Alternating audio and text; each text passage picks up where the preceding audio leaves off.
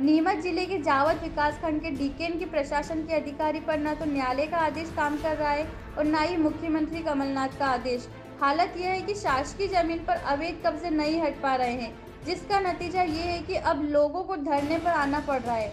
Decane में शासकीय ज़मीन से कब्जा हटाने की लड़ाई लड़ रहे पूर्व पार्षद ने मंगलवार को एसडीएम और कलेक्टर के नाम ज्ञापन देकर आमरण अनशन करने का ऐलान किया है, जिसके बाद अब पूर्व पार्षद अपनी पत्नी के साथ गुरुवार सुबह से कलेक्टर में अनशन पर बैठा है, जिसे 24 घंटे से ऊपर का समय हो गया है। पूर्व पार्षद का कहना है कि वे वहाँ से अतिक्रमण हटाने के बाद ही अनशन से हटेंगे। शिकायतकर्ता जगन्नाथ रामनारायण तेली द्वारा शिकायत की गई थी। तो उसकी शिकायत पर तहसीलदार महोदय अनिल बाना द्वारा 14 जुलाई 2015 को वो दुकानें गिराई दी गई। उन्हें गिराई तो मेरी पत्नी घर पे अकेली थी। और समय दिया था उनको तो एक दिन पूर्व कर गए वो मेरी गैर मौजूदगी में। और कोई आ रही साहब का उसमें यह भी नहीं, सीमांकन वगैरह रिपोर्टें नहीं है। केवल पटवारी ने मनमाना पंचनामा ने, नगर पंचायत ने दोनों ने मिलके बना दिया। मैंने कलेक्टर महोदय के समक्ष शिकायत भी करी, शासकीय अधिवक्ता को आप फिर भी करें उस मैटर में। शासन की भूमि हटाना है। फिर उन्होंने तीन साल ऐसे निकाले फिर मैंने हाईकोर्ट पिटीशन दायर कर रखी थी। 2015 में एक वहाँ भी दायर करी। फिर उसमें सुनवाई हुई। फिर यथास्थिति का आदेश समाप्त हो गया। 2019 से पहले ही हो गया।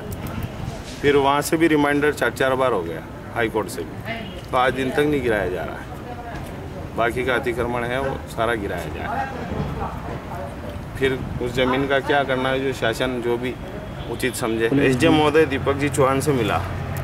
पीछे गए दोनों जने पति पत्नी गए। तो बोले कि मेरे को समय नहीं है अभी। पहले तेईस चौबीस मुकर करी थी तहसीलदार साहब ने इन दोनों ने। सुधाकर जी तिवारी।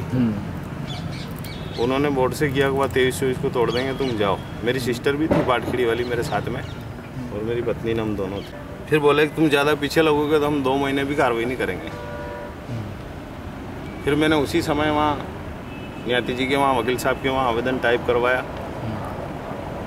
और एस डी महोदय को भी दिया और यहाँ कलेक्टर महोदय को भी प्रस्तुत किया। जन सुनवाई में तो विनय कुमार जी धोखावत जी महोदय बैठे थे साहब उनको दिया उनको जानकारी में है पूरा मैटर। फिर मैं साहब से मिलना चाहता था जो डायरेक्ट साहब को दिया मैंने आवेदन और 24 घंटे का उसमें समय डाला था मैंने कि मेरा निराकरण किया जाए। जब तक नहीं होगा नहीं तो मैं मुझे मजबूरन यहाँ धरने पर बैठना पड़ेगा। हाँ मेरा नाइनसन का लिखा उसमें।